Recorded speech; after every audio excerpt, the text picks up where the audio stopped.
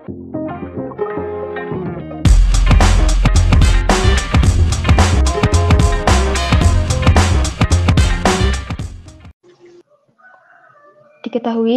misal S adalah anggota regu pramuka, A adalah himpunan anggota regu pramuka yang membawa tongkat, B adalah himpunan anggota regu pramuka yang membawa tambang, dan A irisan B adalah himpunan anggota regu pramuka yang membawa keduanya, yaitu tongkat dan tambang.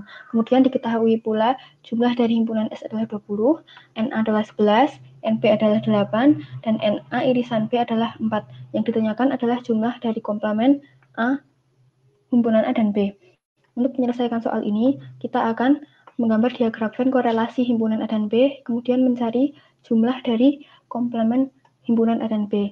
Langkah pertama kita akan membuat diagram Venn-nya terlebih dahulu.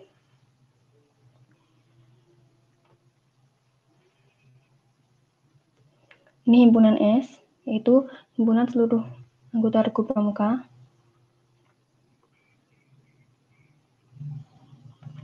Dan ini himpunan A, dan himpunan B. Diketahui jumlah semesta adalah 20.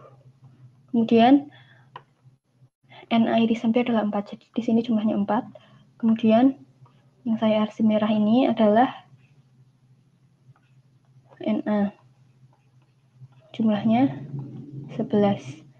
Kemudian yang saya arsir kuning ini adalah NB jumlahnya 8. Untuk mencari jumlah dari komplement himpunan A dan B, yang pertama kita akan mencari jumlah gabungan B terlebih dahulu, yaitu dengan cara menjumlahkan NA plus NB dikurangi N A irisan B sama dengan 11 plus 8 min 4 sama dengan 19 min 4 sama dengan 15. Setelah itu kita bisa langsung mencari N komplement dari A gabungan B. Yaitu dengan cara mengurangkan jumlah himpunan semesta dengan N A gabungan B. Jadi 20 dikurangi 15 sama dengan 5.